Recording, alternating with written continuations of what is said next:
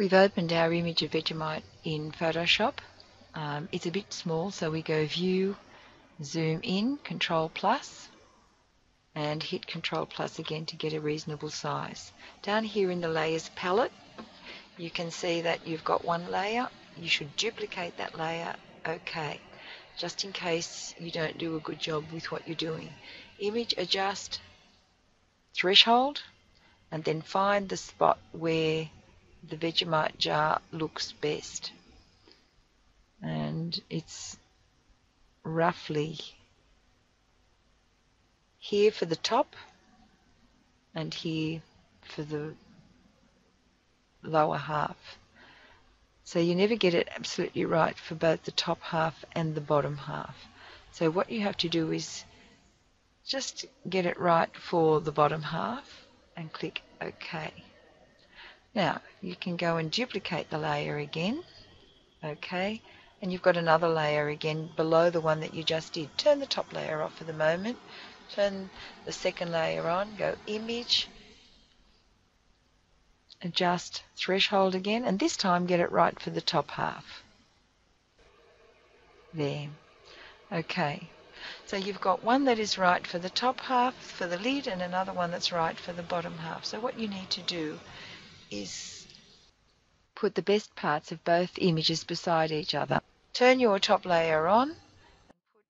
Go down to the bottom here and see where this little icon is, you create a little mask. So it's a little square with a circle inside it and it puts a mask beside this one. Now this is the one that's got the bottom half right but the top wrong. Now if we cut a hole in this mask, imagine this is like a little opaque window that could allow us to look through to the bottom layer. So we pick up a brush that is black and just colour it in and you can see where we put the hole in that window, the layer underneath shows through. Now, that's what it looks like on the mask, and that's where the hole is. Now, if we switch it off, you see the whole layer underneath, but we've just made a little hole in that window that was opaque to show the layer underneath. And by doing that, we now have the best of both layers. So now we've finished that, we go control, or we can merge them down. So merge down. So the layer on top that's highlighted will join with the layer below. So we merge down. And now we have the layer underneath. We can get a paintbrush and make sure this is white now and make sure your paintbrush is not too big and just colour in with white any of the areas that are untidy you can make the edge of your brush sharp so that it doesn't have a fuzzy edge and you can tidy up everything you want on that layer.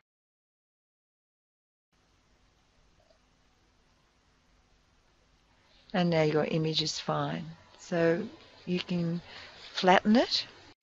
Oops, just flatten image and file save as now make sure it's saved as a JPEG that word there if it's got something else like Photoshop PSD make sure you change it to JPEG and save it on the desktop in a folder that you call pop art images. Using a comic image another one you can do is select a section of a more complicated comic. So you use your marquee tool and you drag the crosshair across the image that you want to select and once you've got marching ants all the way around that image you go copy. So control C or you can do file edit copy. So go file now go file new. Okay. And go edit paste. And what has happened is you've got your section of image copied on a layer down here and there is a white layer underneath. You need to have that white layer for the task that we're going to do if you've taken a new image that doesn't have a white layer, you need to create a white layer underneath that. Here we have the image without a layer underneath it. So what you do is you go layer, new layer or shift control N and click OK. Now to get it underneath you drag the layer below it up so that it touches the top and it will uh, um, move to the top and the layer below. Now the layer below is transparent. So to get that like, click on it to make sure it's highlighted go over to your bucket tool make sure the color that is on the top here is white okay? And then just even though you can't see it so you just fill it. And now when you turn your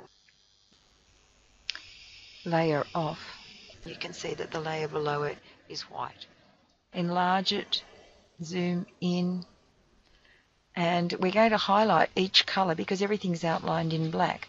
So you use your magic wand tool and you start selecting all the blue areas. Now if you hold your shift key you can select more blue areas. And just click in those areas that are blue. And then when you click delete all of those areas are cut out from the image so if you look down here you can see if we turn the other two off that this is now transparent in that area and the white is showing it through.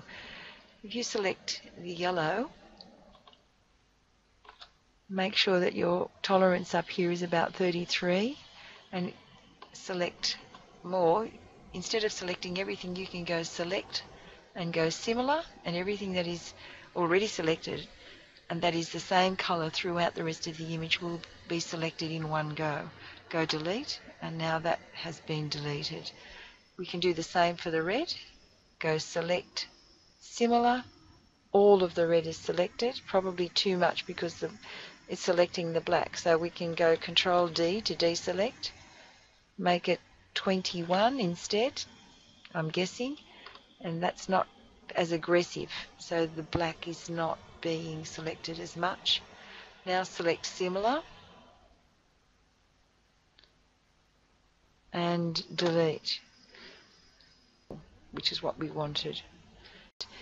Image, adjust, threshold, and just choose what you want as your final image and click OK. Now to flatten the image you go merge down or flatten image and file save. Make sure you save it on the desktop in your pop art images file with your name on it